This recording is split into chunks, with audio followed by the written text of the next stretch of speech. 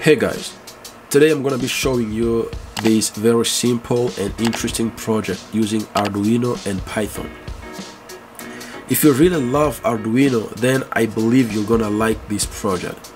So let me show you how it's working.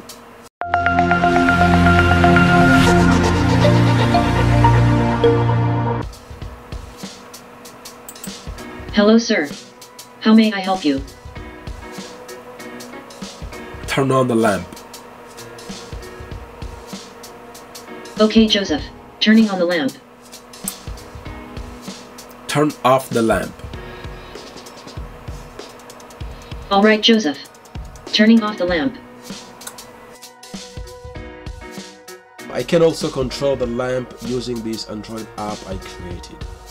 So what I'm going to do, I'm going to connect the Bluetooth module so that I can turn on the lamp and turn it off.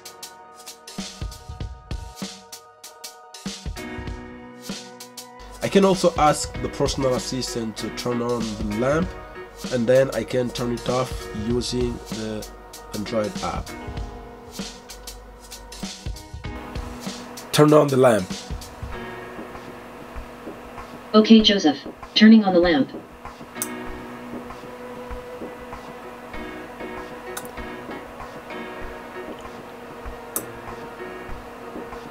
Turn off the lamp.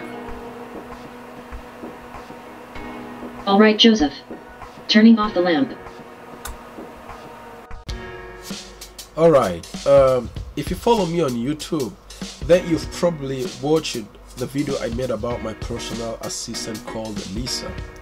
She can perform so many tasks, but what I really like the most is that she can also control boards like Arduino, ESP, and Raspberry Pi. And this way controlling all the devices connected to the so these boards. Okay, this video is not about Lisa at all.